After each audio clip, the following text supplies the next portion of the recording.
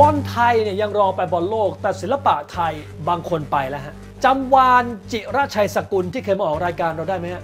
ศิลปินที่นักธุรกิจระดับโลก museum ระดับประเทศต่างมีงานเขาในคอลเลกชันพฤหัสนี้จะมี exhibition เดี่ยวภาพลวงตาของความมั่นคง illusion of stability 18.00 ที่ River City ชั้น 2 หลายคนเห็นรูปโพสต์เชิญแล้วอาจงงว่าใครวะ เรื่องนี้มี 2คำตอบ ศิลปินหลายคนที่มั่นใจในสกิลตัวเองเนี่ยไม่จำเป็นต้องวาดคนดังเสมอไป เพราะเชื่อว่าการวาดคนดังสื่อว่าอาจไม่มั่นใจในฝีมือจึงต้องหากระแสฉาบฉวยมาช่วย ถ้าคุณไปดูศิลปินที่ประสบความสำเร็จจริงๆเนี่ยไม่จำเป็นต้องโหนคนดัง เพราะคุณภาพงานมันปังอยู่แล้ว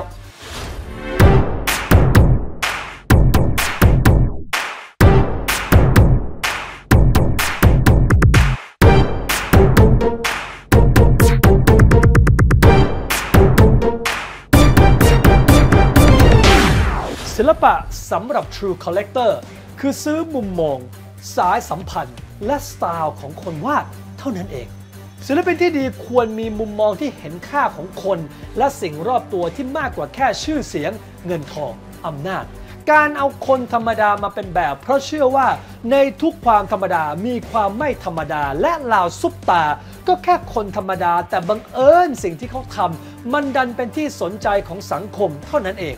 ซึ่งรูปนี้มองให้ลึกมองขึ้นไปข้างบน สื่อถึงความฝันและการลงมือทำหากอยากได้คำตอบจังๆ พรุ่งนี้เจอกันรับประกันมีช็อตเด็ดแชมป์จัดไป นี่จะเป็นโชว์ที่ไฟไม่ส่องรูป แต่ส่องพื้น